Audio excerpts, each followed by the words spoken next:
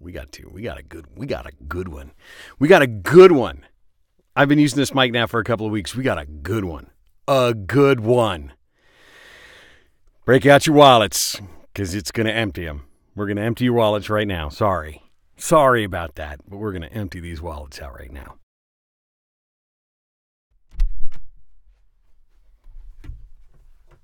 Ooh, get in the door. What's happening, Booth Junkies? Mike Tog here, back with another video on home studio setup for voiceover. And boy, howdy, do we have a couple of mics in the booth today to review, to go over, to let you guys take a listen to. I am really super excited about this this uh, this matchup, this pair here.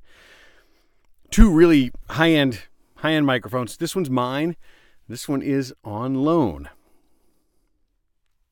Daniel from Plus 24 out in Los Angeles. Daniel, thank you so much for loaning me this microphone. This has just been a real treat to use, man. This is a this is a super cool microphone, and uh, I'm really excited to share. excited to share this one with you guys. Now, I, I don't know. Do I label this one promoted content? Do I label this sponsored? I don't know. You guys are going to tell me. Tell me. This microphone is on loan. It's on loan from a company that I just gave the name of, Plus 24. I'm not being compensated for it. I don't get to keep this microphone. They're not paying me. They just said, "Do you want to test this microphone?" I said, "Yes." But a company gave it to me, and not just a not just a regular booth junkie. So maybe I mark this as promoted content. I don't know. Doesn't matter because we're going to do it the same way that we always do it. What do we have in the booth here, Mike? Well, let's talk about it. Let's talk about what we got going on here. As I said, this this microphone right here, this is a Neumann TLM 103. This is my microphone. Had it for a long time. One of the staples here in the booth. I use it for a lot for voiceover. One of my favorites, and very common for a voiceover. This microphone was actually pretty new to me. I, I know the brand, but I don't know this microphone very well, and I'm really just super excited to use it. This is made by a company called Sanken, S A N K E N, Sanken, and this is the CU51 microphone. And this is a, definitely a high-end microphone. Costs a little bit more than tw- maybe twice as much as my as my 103. This microphone will run you two thousand twenty one hundred dollars. Go ask Daniel. Um, about twenty, about two thousand dollars. And I think the shock mount is another 300 that's what happens when you get up these expensive microphones even the shock mounts the shock mounts cost more than than some of the microphones. Just the way it works. Sorry. Um, okay, so but let's talk about this. Let's talk about this microphone. The reason I have these two, the the original reason why why I said well I'll put them next to each other is because they both say they're transformerless. Now the transformer is just a you know a piece of electronic equipment that li- lives inside here. For you and me, what does it mean to be transformerless? I don't know. I don't know. Never really needed to know what the difference was. I, you know, there are other microphones that have transformers in them, and some that don't. I'm sure they'll say it makes something about the sound smoother. I don't know. Maybe it does. I don't know. I just know they're both transformerless, and I know that TLM, that sort of was an indicator of the transformerless uh, design. So I said, well, I'll compare compare these two. I, I, find it very helpful when you're listening, trying to listen to how a microphone sounds, to at least compare it to something to something else. So that's what I'm doing. but the comparison between them is, or the differences between, there's actually some fairly significant differences between these microphones. And I think you'll hear it um, as we do go, go back and forth between them. They do sound they do sound somewhat different. Their their their profile, their sound signature is somewhat different. Let's talk about some of the features of the CU51, and you'll get a sense of what I mean.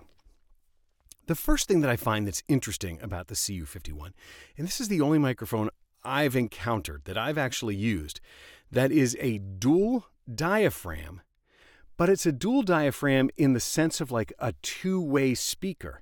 So this has a, two diaphragms that are set over each other.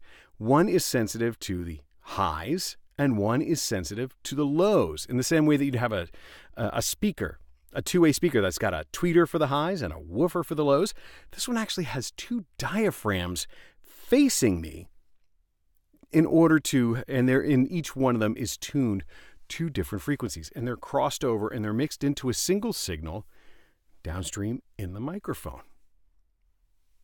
I think that's really, I think that's really interesting. It's the, the approach they've taken. So they're too smaller. I think they're half inch diaphragms. As I look in there, it's pretty significantly different than the Neumann, which is a one inch single diaphragm. Just the the, the way they do it. It's uh, whatever whatever Sanken wants to accomplish with that microphone. That was the that was the design decision that they that they've made. For all intents and purposes, doesn't mean anything. You don't get two different signals out of the microphone or anything like that. But it's just the design. They, I think they mean. I think they uh, one. I, I think their goals were it. Makes it so it is more tonally even, even if you're off axis, even as you're closer or farther away from it. That the tone of this microphone stays extremely, extremely consistent as you move around. Whereas other microphones, maybe the the TLM that as you move from side to side, get certainly get closer and farther away, that the tone of the microphone changes. It actually changes the EQ curve of the microphone, for lack of a better word. Neither of these microphones have any buttons, any switches, or anything like that. But that actually it, it makes for something interesting. So, in many microphones that we've tested, there's a switch on there that is a high pass filter. And what that means is you turn that switch on and it will block sound below a certain frequency, and everything above that frequency passes through. The high above passes through. And so they do that, they have that switch to offset the proximity effect. The proximity effect is the tendency of a microphone that as you get closer to it, the EQ of the microphone changes and you'll tend to get bassier the closer to a sound source you get. So as I get up close on the Neumann, as I get up close to it, you should notice that my voice does get bassier, that there's a tendency for the bass to become more prominent. And that maybe it's something you want, but for things like recording instruments and recording singers and things like that, you might not want to have to keep changing the EQ curve as you get closer or farther away from the mic. So if there's a por- portion of the the the the piece that you're that you're creating, if there's a portion where you get close to it and you get farther away, you might actually have to change the EQ curve in order to remove that bass. Now the Sanken, on the other hand, even though there's no high pass filter on there, their claim is that this microphone really doesn't suffer much from proximity effect. So as I get closer to it and closer to it and closer to it, that the EQ curve of this microphone really doesn't change that much. I don't get bassier. I just get louder and closer and more inter- intimate, but I don't actually get bassier. So that's actually pretty cool. So if you're a singer or something like that and you like to work that mic and you get close to it and you get farther away from it, you want to still sound like you, maybe. This is the microphone that can help you achieve that. So you don't have to be so rigidly locked to a certain distance from the microphone. You can actually get right up on it and not have a proximity effect to worry about. It's pretty cool. The other byproduct that they say of, the, of this particular design is it's very flat. So the Neumann um, often is considered a very presence boosted mic. It can be sort of hyped up. It can, it has a real uh, a real airiness to it, whereas the the Sanken is pretty much flat. When you look at that frequency response graph, it doesn't have a strong presence boost, even though it's a really clear mic. It doesn't, and it doesn't sound dull. I don't think it sounds dull by any stretch it's not it's not hyped up the way the way this one is. It's very neutral. But they say that neutrality will will stay exactly the same all the way up to fully 90 degrees off axis on this microphone. So as I move my voice over to the side and over to the side, I'm 90 degrees off this microphone right now. And they, what they say is that you might get louder, but the tonality doesn't change as you move to the side. Whereas some of the other microphones, I'm not sure if the Neumann has it too, too much, uh, but some microphones that as you move off to the side, I'm 90 degrees off the Neumann, that their tonality can change. It might get a little warmer, it might get a little bit more muted. Um, it might actually change the way you sound. Sorry, I'm at the very end of a bad bout of bronchitis, so I've been I've been sick. I'm losing my voice just in this little bit. So you have two different uh, ways to try and achieve sonic clarity. One, you've got the the Neumann and its classic Neumann sound, and here you've got the Sanken. I, I will say that it. I'm hesitant to use the word clinical because I think it's just precise, but it doesn't cl- clinical when I think of the word clinical for a, a, microphone, it makes it sound lifeless and and dull. But I don't think this microphone sounds um, neither lifeless nor dull. I think it sounds really nice and clear and I don't want to say present, but it sounds it sounds smooth and clear and I've been really happy with it. I've gotten to record a little bit with it and I'm really I'm really impressed with the mic. As i should be for the price, right? You better be impressed with it. It better sound good for the price point that you're going to pay for it. Uh, but that is uh, that's my impressions of the microphone. I don't know a ton about the company Sanken. I do know that they make a very wide range of microphones. They're really well known in um, on movie sets. I believe that their their lavaliers are quite um, quite frequently used. The Sanken lavalier mics. They uh, make some boundary mics. They make shotgun mics.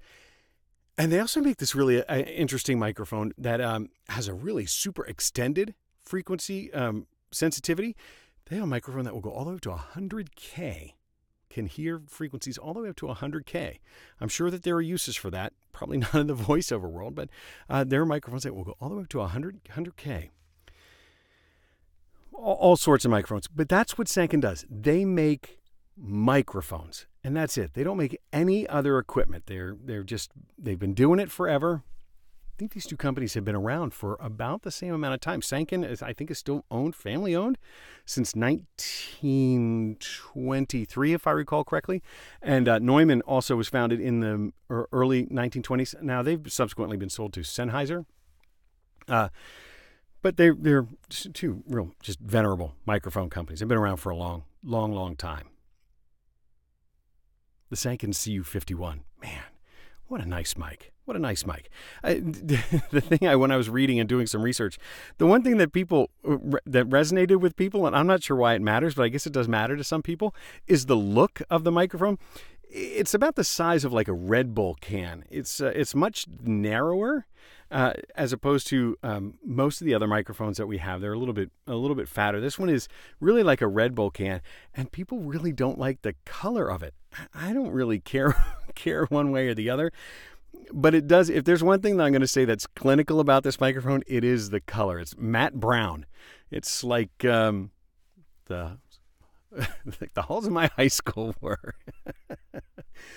Matters to somebody, doesn't matter to me. I just care about how it sounds. Um, so that's the Sanken CU51. Sorry, I'm getting hoarse. I can feel it. I'm going to cut it short. The Sanken CU51 dual diaphragm cardioid. Oh, I didn't talk about the pattern cardioid condenser microphone.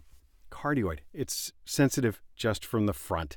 If you've seen my videos before, you know that a cardioid pattern means there's a lobe of sensitivity from the front, very insensitive from the back, very insensitive from the back of this microphone, and it's sensitive to about 90 degrees off the side. So as you move off to the side, which gives you a nice broad range of area in front that you can speak into the microphone, allows two people to talk into the microphone at one time things like that. Um, so, but they are. I, I can't believe I, I remember if I said cardioid in the beginning or not. So these are both cardioid microphones. So what do you think of the sound differences between them? Do you do you think they sound different? I think they sound a little bit different, um, but I can't say that I think one sounds worse than the other. I just think that they sound they sound different. If I didn't hear them compared next to each other, I don't think I would be. I don't think I would be frustrated or say, "Oh, that's no good," or "That's too bright," or "That's too harsh." Nothing, nothing like that. I, I I think this is a really, a really lovely sounding microphone. Really lovely sounding microphone. And maybe it's the one that's for you. If you got a you got a couple of couple of large sitting around in your pocket, maybe this is the one for you. Could be. Could be. Could be. In any respect, it was loaned to me, so I wanted to share it with you guys. I hope you found it helpful. I hope you found it interesting. I don't know. I really did. I really did. Anyway, that's the Sanken CU51 microphone. So now go out and get yourself a microphone. Maybe even a dual diaphragm two way microphone. What? But get yourself a microphone. Just get one.